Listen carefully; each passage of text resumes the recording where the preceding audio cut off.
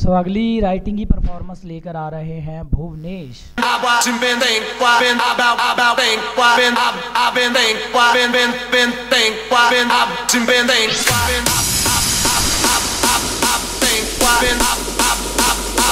I've been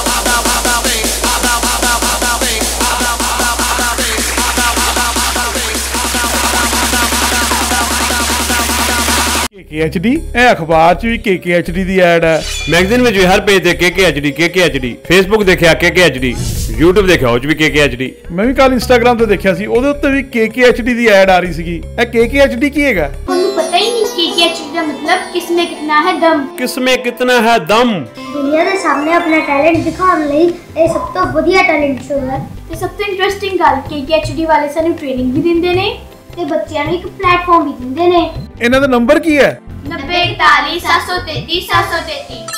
90 41